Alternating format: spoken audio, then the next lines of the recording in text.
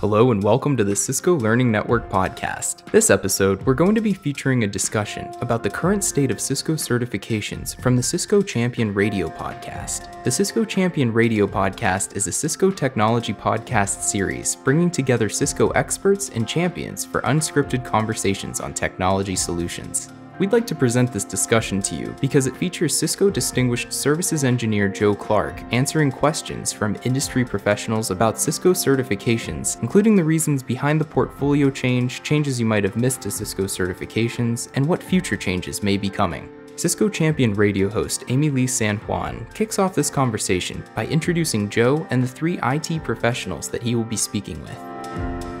This is Amy Lee San Juan, and it is always my distinct pleasure to welcome you back to another informative episode of Cisco Champion Radio, where we cover topics across the Cisco portfolio to give you the insights you want and need. Today, we are diving into the wonderful world of Cisco certifications, and to help us drive the conversations, of course, we have an amazing cast of Cisco Champion hosts and the, with a capital T H E, Cisco expert, all right, so let's get started with a round of introductions. Joe, we'll start with you. Can you tell us more about what you do at Cisco? My name is Joe Clarke. I'm a distinguished engineer at Cisco working in our learning and certification business. I've been at Cisco now just about 23 years. Started right out of college into our technical assistance center doing network management support, but I have a computer science background, so programming, automation, all of that fun stuff was what interested me, and so I, I jumped in almost immediately in hacking our network management products, extending them, patching them. And now I do a lot still with network automation. Infrastructure as code, what they call the uh, model driven programmability. I work also in the Internet Engineering Task Force where I help on some of the YANG based standardizations. Yeah, I, I guess that's probably me in a nutshell right there. So the simpler question would have been, what don't you do? oh, there's a there's there's a lot. That, that, uh... All right, Dan, you're up next. Who are you? What do you do? Sure, I got to follow that. Thanks. Uh, Dan Kelcher, I am a senior network engineer with Sleep Number, so I get to play with switches and routers and do nothing anywhere near as impressive. Nice. I believe I knew that you worked at Sleep Number, so I'm going to have to ping you offline about that. uh, Meredith, tell us about yourself. All right, I'm Meredith Rose. I work for WWT. I'm a senior consulting systems engineer based in San Diego. Since we're talking about certifications today, I'll mention I have an old school CCIE route and switch, now known as Enterprise Infrastructure, for almost 22 years now. And more recently, I passed the DevNet Associate exam. My Twitter handle, if you'd like to follow me, is Mer3Dith Rose. So it's M E R 3 D I T H R O S E. Very nice. Uh, Jonathan, other than falling out of bed, what do you do? what, what's, what's not bad about falling out of bed? I love it. Okay, no. Um, my name's Jonathan Mahadi. Uh, I'm part of uh, BHP, uh, work in the mining sector. I also have a CCIE, but in old school wireless, so that's enterprise wireless for now. And uh, I work in more design and governance at the moment, which is actually a lot of fun. But I do various things across different verticals within the networking sections. Very cool. Joe, kicking it back to you, can you give us a little introduction and background on what we're talking about today? Uh, absolutely, sure. So thanks. It's good to meet everyone here. I also have a sleep number bed. I'm jealous. So about 28 years ago, we started this little thing called the CCIE, the Cisco Certified Internetwork Expert. I guess it got a little bit popular, and so we spun up more certifications over time the CCNA, the Cisco Certified Network Associate, the Network Professional, and thousands or so of certified individuals later, we arrive at February 24th of 2020 leading up to that, we decided or we looked at our certification portfolio and said a few things. One, it has certainly garnered a lot of industry recognition. We look at job descriptions in the Indeeds and the Monsters and the LinkedIn's, and we see that people are looking for Cisco certified individuals, and that's fantastic. And, and we've also seen that some of our competitors copy some of the ideas around our certifications, and so it's obviously flattering. We, we see that we've made a dent in the marketplace. However, you can't just rest on your laurels. You can't just say, well, we've done well for the past 20, at the time, 25 years. What's next? In fact, we gave out stickers 25 years of excellence on the 25th anniversary of the CCIE. And I was at one of the IETF meetings, and someone who's notorious for poking the bear said, So what? 25 years of excellence, now you're done? No more excellence? And it was a good point because we looked at the portfolio and said, Okay, we've had these 25 years of excellence. What's next? How do we keep it excellent? And so we went back to kind of the drawing board and we looked at things like the complexity of going through and getting the certification, how monolithic some of these certifications were in terms of the technologies and, and what people had to know, how useful were they, and what are they doing to track some of the current industry trends? And we redesigned some things. We simplified quite a bit of the certification and training portfolio. We emphasized flexibility, both making it easier for us to add in new technology and revamp things, as well as individuals to make it more flexible so that they felt they were getting the certification that they cared about. And then that brings us back to that February date, February 24th, 2020, where we launched this new set of certifications. And I think Jonathan Jonathan, you mentioned you had, or or maybe it was you, Meredith, who said you had uh, CCIE route switch and now it's become enterprise infrastructure. So we retooled, we renamed some of the certifications. We didn't take away anything that anyone had earned, but we made this new set of certifications something that's much easier to kind of wrap your head around, less upfront exams or prerequisites that you have to take, more flexibility and agility. And we added one of the key elements that's permeating the network engineers in all technology spaces, and that is this automation and programmability, which I mentioned is very near and dear to my heart. So now you see this new set of certifications, still the same levels you know and love the associate, professional, and the expert, but we've also created different realms to kind of recognize that there are different job roles. And we've created a realm for the software developer, and those are our new DevNet certs. And congratulations, Meredith, on your DevNet associate. I myself dipped my toe into that water. I got my DevNet associate, and I'm kind of trying to convince myself to do some online proctoring for the next level. And we also created a realm for the cyber ops engineer because we recognized that cybersecurity is kind of a job role in and of itself, where you have the security network engineer as an example who builds the walls around the castle, and the cyber ops person knows that no matter how big or thick you build these walls, someone is going to come in and mess stuff up. And so they try to think like the hacker. So we created these new realms, we created that flexibility, we created a way for us to keep adding more more certifications, more training as we recognize industry trends shift. And so we're into the almost 28th year of Cisco certifications, and I think the excellence is absolutely still there. So thanks for hosting this, and let's see where we go with this. Cisco certifications. Action.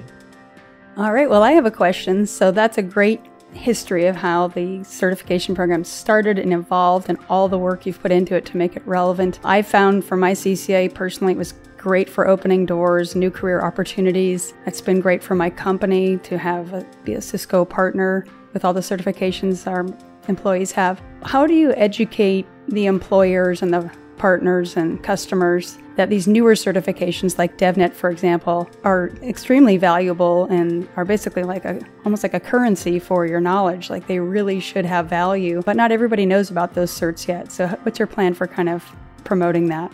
Well, we have a few ways of doing it. The first thing is we have to show up ourselves. We're an IT shop at Cisco. We've got our own IT department, we've got our technical assistance center, we've got roles around instructors, roles around people building training content, our DevNet developer advocates. All of those people, as we hire them, as we bring them in, we want to be able to put on those job descriptions, hey, you should be, say, DevNet certified, or you should have these certifications. So we've done that. Back when the CCIE came out, one of the things we did, you mentioned you're with a partner, we said, hey, partners, we want you to get specialized, certified, and, and earn these like gold specializations or, or, certifications.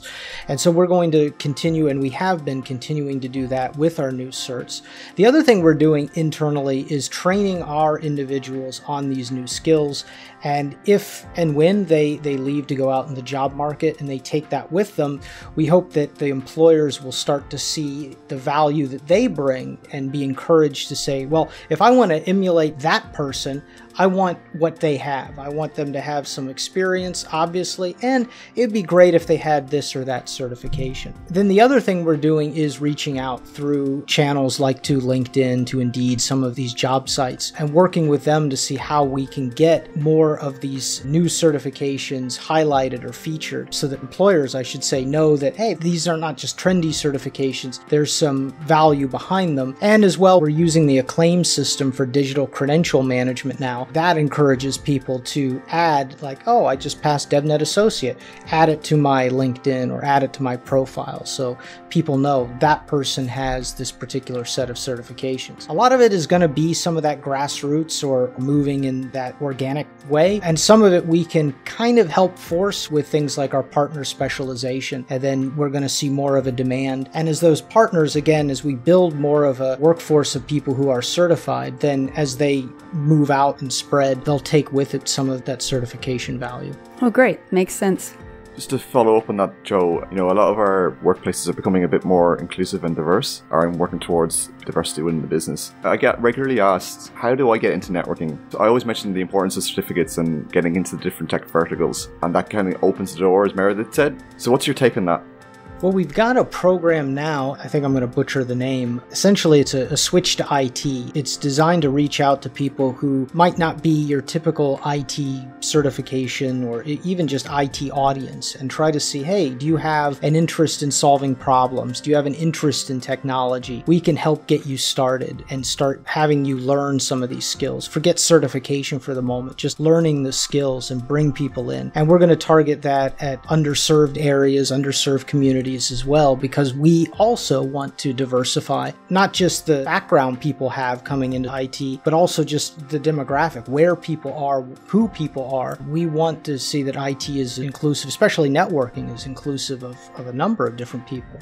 And the other thing I tell people if they're interested is again, put the certification to the side for the moment and figure out what it is you like to do, what drives you, what interests you, and start learning and especially playing or doing in areas like that that. And so when we talk certification, sometimes we highlight the certification part. Like February 24th, we released new certifications. And we absolutely did, but we also released the training. And with the training came labs. And we really want to encourage people to practice as much as they preach. If they say, I have these certifications, have you really put the time behind it to be able to learn that and to practice it and to really understand and feel like you can talk to it? If someone said, Hey, can you go do this or help me with this, that that person can do. And we want to encourage them to also give back in areas like the Cisco Learning Network, answer questions and help people out. Again, foster that idea of an inclusive community. The Cisco Learning Network that Joe just referred to here is a social learning community focused on IT networking technologies. Our mission is to provide learning tools, IT training resources, and industry guidance to anyone interested in building an IT career through Cisco certifications. If you're interested in learning more, please visit www.ciscolearningnetwork.com we, we've got a few things going on. Admittedly, we can always do more and we could always find new areas to reach out. And I think now what you're seeing is we're really trying to put a focus on that to make sure that people know that networking is important no matter where you do it, on prem or in the cloud. And we have training, we have ways of getting you connected, getting you up to speed, upskilled, whatever you want to call it, and being able to then translate that into something that can hopefully get you a job, a better job, or move you up in your organization. Just, just a side note, Joe. I really appreciate all the commentary. You just touched some points that are already like close to my heart, and one of the things that you know I've talked to people about is that we need to build from the ground up. So, like, get to the high schools or, or the secondary schools and work from that level. And I think that's another area that we could probably look at as well for this sort of program. But that's great to see.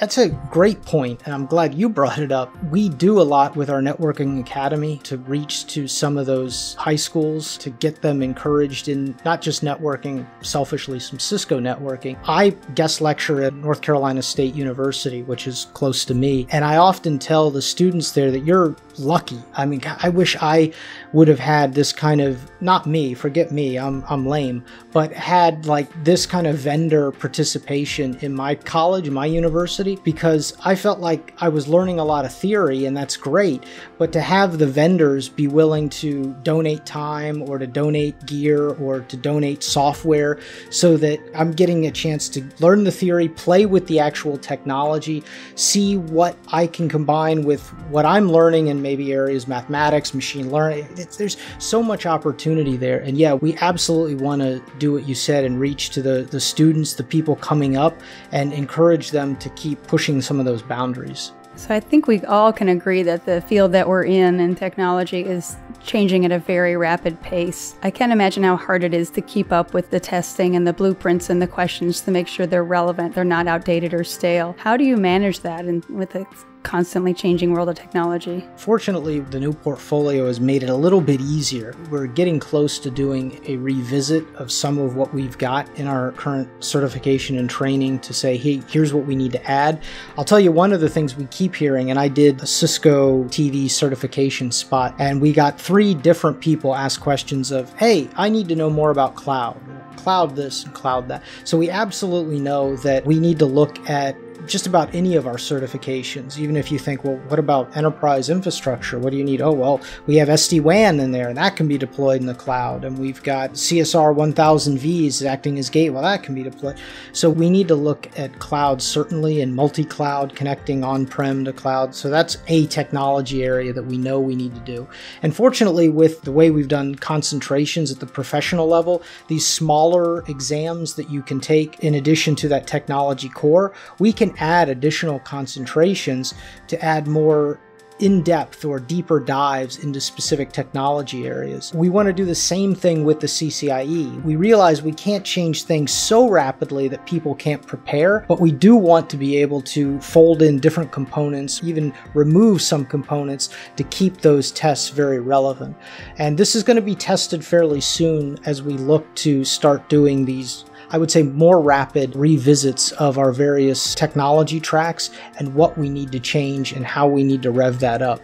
So, what you're going to see are both blueprint changes, so the exam blueprints or exam topics, as they're sometimes called, and you're going to see uh, training and relative to that change as well. And there's probably going to be a need for some additional Cisco Press authors to keep up to speed with new books and revisions of books relative to some of those exams as well.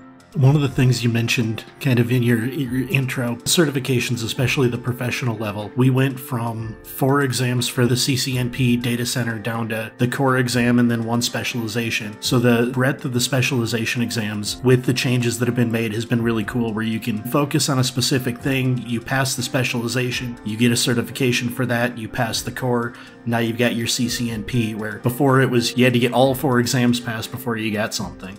So, not a question so much, it's just cool idea. I like the way that that's been implemented. Any of you been to Cisco Live, like an in person Cisco Live? I have, yes. I have to admit, I have, yes.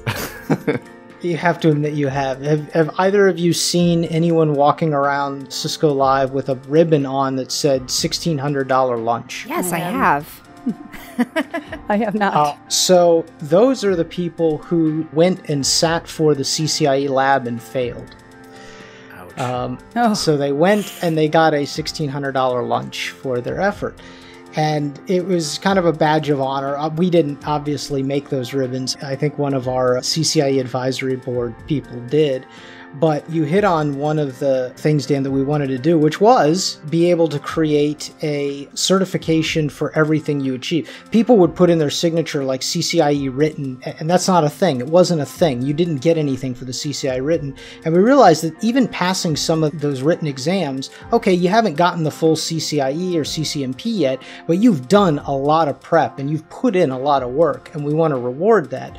So for those technology cores, for each of those exams, you're right, you get that specialist. But I did want to correct you on one thing. You said four exams for the data center. i am going to take your word on that. I, I never took the CCNP data center, but there was probably four exams just for the CCNP, but there was a CCNA prereq that used to exist as well. So that was additional exams you had to take, and we got rid of all those prereqs. So now if you feel you're at that professional level, you just go and you take the two exams for the CCNP data center, and assuming you pass, you get it. So you hit on that kind of simplification angle that we were really striving for. And the CCNA data center, I think, was two exams. So yeah, six exams total. Yeah, good times.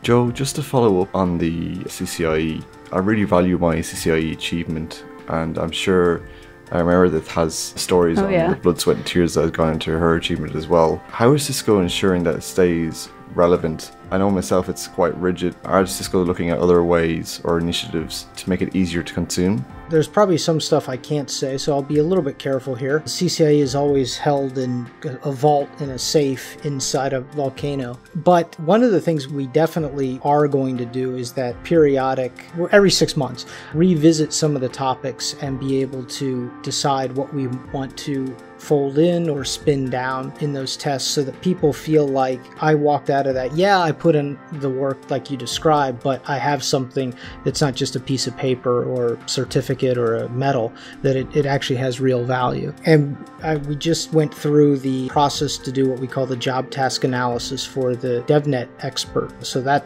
is coming up, and I can say that the amount of time that goes into prepping those exams is almost equal to the time it takes to do study and, and complete them. There's a lot of anguishing over what goes in, talking to different SMEs, both internally and externally, to make sure that we have the right material at the right level to be able to be defensible and to be able to be relevant.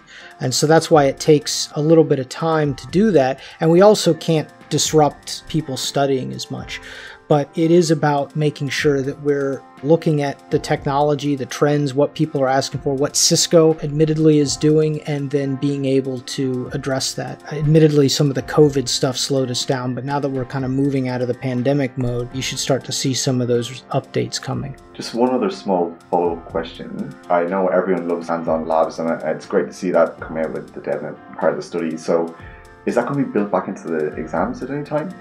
Lab simulates? The CCNA, if I understand you correctly, we're doing what we call lablets in the CCNA starting there, and it will permeate into other exams. Unlike the Simlet, you will actually get a, access to a real CLI running in like a virtual instance of IOS as an example, and you'll be given a task or set of tasks to do with that like configure VLAN trunking between these switch devices, and they won't be like finite state machines that kind of act like IOS. There'll be enough CLI to cause you all sorts of consternation, but yeah, you'll be able to do that. And actually, when you see on the blueprint the verbs implement, configure, create, those action verbs, you will actually will be able to test you on that as part of the written type uh, exams. I'm really excited by that. So, like, sorry, I haven't sat my CCNA, and oh, I can't remember. I can't remember when I did it, but uh, it's actually one of those things. It's it's really good to see like that that kind of evolution because I'm more of a hands-on person rather than just pure theory. So, and I, I did actually get that asked question from one of my colleagues yesterday. So, since you brought it up, and to all of you, what is the biggest pain you have with some of our exams? Not having maybe the ability to do things like with the Simlet or Lablet could be considered one, but what else have you, think we should have fixed or should fix in our exams? I'm going to start this with a story. So back when I took my first, I first sat my CCNA exam. I was going in, you know, completely green. Sat the exam. And at the time, when you're taking a test in school, when you get to a hard question, it's a time test, skip the hard question, move on, and come back. Every single sim, I'm like, that looks hard, I'll skip it and come back. I got Ooh. to oh. the end of the test and realized it's adaptive. There's no back button. Yeah. So, not necessarily something you can fix, but just a lesson I learned the hard way. I think that was the composite test at the time, 225 bucks I think it was, but there was no lunch, so that was just a $225 trip to a test site. So yeah, there's mine. Not something you can fix, but we do it that way specifically so we can have certain types of questions live together in the exams. I feel your pain though. yeah, I remember that too when that feature would kind of come and go, the back button. So as you've evolved the test taking and solicited feedback from the community to how to make them better. You kind of had this unexpected need to pivot quickly when the pandemic hit and you couldn't do in person testing at the testing centers anymore. So I took my DevNet exam from home, for example, and that was a different experience, but actually it was a very positive experience. I was quite nervous that something was going to break and I'd have to reschedule or start over, but it went really well. How do you see Cisco going forward with the potential tests at home and then as test centers are reopening? Do you see some kind of hybrid or one direction or the other you're leaning? I think we will see a hybrid. What's interesting is I was shown some data yesterday. More people do seem interested in taking tests at testing centers. I think it's probably a composite of a few things. One, they don't have the kind of environment. I mean, you see behind me that I probably have to strip some things off the walls to make the proctors feel like, yeah, you're in a clean environment. They might not have good internet, they have too many distractions at home, so they, they like being able to go in. I'm sure the three of you could tell some interesting stories about how that is more of a distraction to go in, but I think what we're seeing is more people want to. However, the convenience of being able to test at home is fantastic. Some people don't live that close to testing centers, so I don't see this going away. We've got a system for it. Our partner Pearson VUE has that system. I think we're going to continue both, to be honest with you.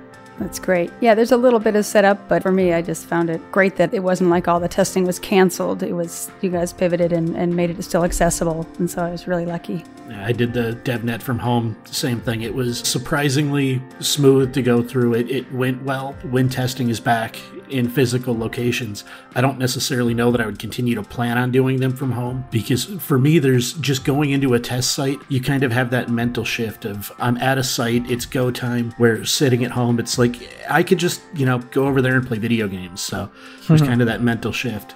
My view is slightly different. So I've had some interesting, entertaining experiences in test centers, and it ranges from having stood walls that are really thin and people having meetings and laughing in behind those meetings, so you have these really loud noises going on. And like, I feel like I should be part of that party, or should I be sitting this exam?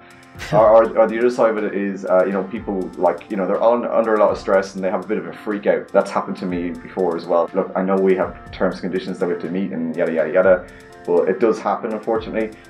So as we talk yeah. about tests and the all the tests we've taken in our histories, one of the things that had always kind of been the, what you did was you take a test and three years later you go, well, I got my CCNA, it's time to renew. I'll go start working on my NP to renew that. And I know that there have been changes to the renewal program as far as continuing education.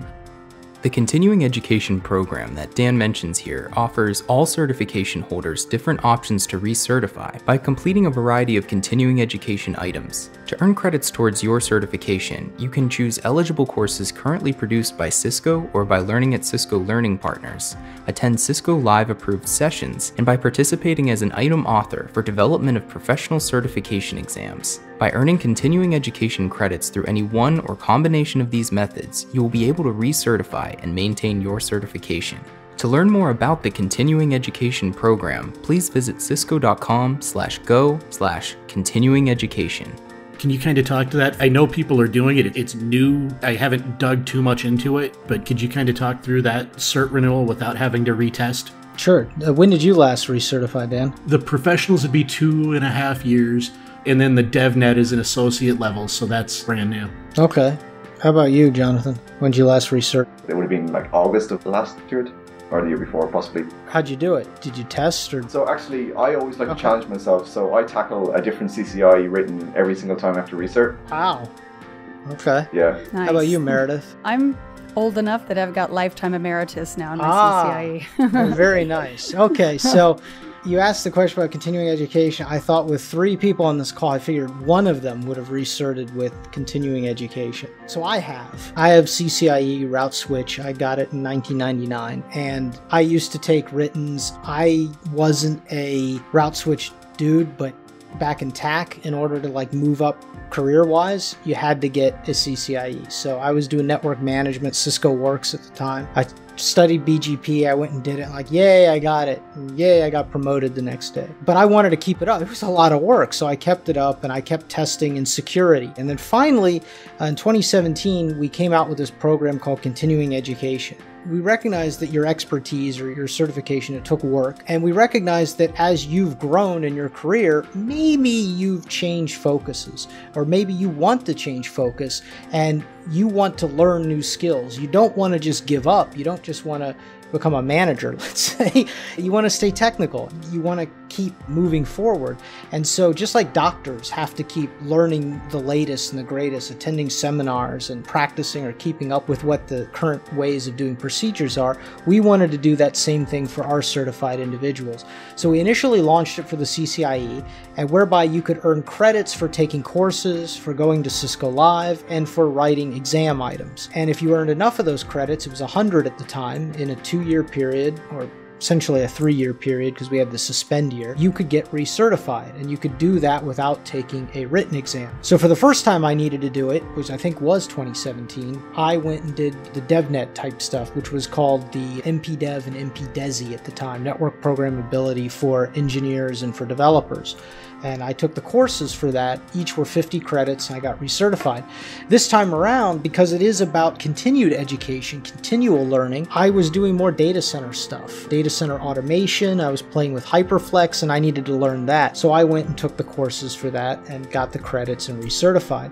This next time, uh, I've got a little bit of time now since the CCIE is now good for three years. I don't know. We'll see where I'm at and what I need to learn more of. But continuing education gives people that flexibility to say, you know what, I don't really want to be Jonathan. I don't really want to challenge myself with a new written every day. I want to learn something new. And maybe after I learn it, I will want to go take the exam for that and get additional opportunity for recertification by taking additional exams and building my pantheon of medals. You can do that. So we've made even that program more flexible by giving people more opportunity to recertify in different ways. And just even with continuing education, initially it was just you either recertified with continuing education or with an exam. Now you can do both. You can say, I'll take this one course, get some credit, and I'll take this exam. Together, those two things can earn enough overall credit equivalency or overall recertification requirement, and I get to recertify. A lot more flexibility in that program. And I'm hoping that people like that. I've heard positive things so far. Like I said, I'm a, a bit stumped that I'm the only one on this call who's done it, but maybe Jonathan will consider it for his next time around. Or maybe, you know what? He'll do both. He'll do a little continuing education and then go challenge himself with that technology core in cybersecurity, let's say. Yeah, Joe, don't worry. I do like to have a play. So the challenge I have at the moment is my lack of available time because I'm usually either doing DIY or some crazy IoT shenanigans. But uh, just on that topic, actually, you know, I'm from the industrial space, right? And so the industrial space seems to be kind of a little bit left behind. Now, I'm not saying like there is certs, there has been certs, and I'm sure there will be more. And I actually just want to tap on that. So, is there any other initiatives in the pipeline for industrial IoT or IoT certifications and, and, like an evolution of that? Well, you've got one right now in the DevNet space for programmability related to the IoT space. So, not IIoT per se, but IoT. There's a concentration. So, it's a step towards your DevNet professional to get the IoT concentration in DevNet. We did have a certification prior to the, the, February 24th cutover on IoT. I'll be honest, we weren't seeing as much interest in it. It's not to say that, again, we're continuing to look back at what the industry, what people looking to get certified, what they want, and you never know. We got now the structure that we could re add something like that in the network engineer space, or if we see enough demand for it and we see it's unique enough from a job role perspective, which it might be, and certainly in IoT and in the industrial space, you could argue that what those people do, what you're doing, is a little bit different than what your network engineer is doing. Just like with cyber, that could turn into a different realm. So we have the ways of doing it. We just need to see the demand. We need to see if you want to start like a Kickstarter for getting IoT back in, maybe. Maybe we could do it. Would you fund it? uh, I'll, I'll, see what I've got yeah. in my chair back there in terms of uh, coinage. If I donate like five bucks, do I just get the certification for free? if you write enough questions for it. Ah. and then, like, just, you know, from a DevNet standpoint, you know, I feel like having a computer science background as well, there's a really close tie in with programming and cloud. And, like, cloud is such a hot topic, and there's so many faces of cloud. Like, you know, depending on who you are, you see it in a completely different way versus, like, let's say, a network engineer. Do you see there's like synergy there and like potential crossover and like with this modularity of the exams, you know, some sort of build up to a different certification there? Definitely, that is the DevNet side is where you'd think it naturally fits because sure you can do things at the various cloud portals or control centers uh, click through the web type of thing but if you really wanted to do things at scale you're going to find yourself using something like terraform or you're going to do ansible or something that talks through the apis through the connector modules to deploy vms or deploy compute i should say at scale to spin up vpcs at scale to be able to do that thing across multiple availability zones so you've got high availability do your load balancing stuff there. So I think, yes, the software side is a natural fit, but I also think there are networking tie ins as well. I mentioned SD WAN. There's also ways of deploying the next gen firewalls, the firepower security side, and doing zero trust and SASE in the cloud. I think what you're going to see is it might start in DevNet, but we're going to see a dissemination or permeation of that into some of the other areas in the network engineer and in the cyber realms as well. So, what are you guys working on for next? The DevNet launch was huge, and there's so many opportunities for learning there and getting these well recognized certifications that are becoming more and more common to for employers to understand what that means. Is there another sort of launch coming up, or are you guys continuing to evolve the existing programs? We're continuing to evolve. We've made a commitment when we launched the DevNet, when we announced it in San Diego at Cisco Live 2019, that we would have an expert, and we're working towards that. There's the potential for an expert in cyber as well, though I don't have any information on that. But the next absolute thing that we've already announced, there will be a new CCDE. So the CCDE was notably left off of the announcement in San Diego. We kind of said no changes at this time, but we always intended to do something there and refactor it a little bit to bring in some more architectural components and have that as well capture some of the newer industry requirements that a design expert would have. We have the blueprint, which is already out. I call it the blueprint, we call it that internally. The exam topics are already out on cisco.com for the new CCDE, and you can go and look at that. So that will be the next big thing. That exam going live will be the next big announcement that we're going to see. Great, very exciting stuff. And that exam, the written for that exam, is still the one exam you can now take Jonathan, if you wanted to take a one exam and recertify your CCIE. It's still the CCDE written. Everything else right now would require two exams or an exam plus continuing education. Excellent. Thanks for letting me know. That's it for our episode featuring Cisco Champion Radio. If you'd like to check out other episodes from the Cisco Champion Radio podcast, please visit the link in the description of this episode. And if you'd like to find more discussions, news, and information about Cisco certifications, please visit the Cisco Learning Network at www.ciscolearningnetwork.com. There you can find countless IT training videos and study groups that are organized by certification and technology. Finally, please subscribe to the Cisco Learning Network podcast to hear more from experts experts in the IT industry as well as news and stories of others earning their certifications. Thanks for listening.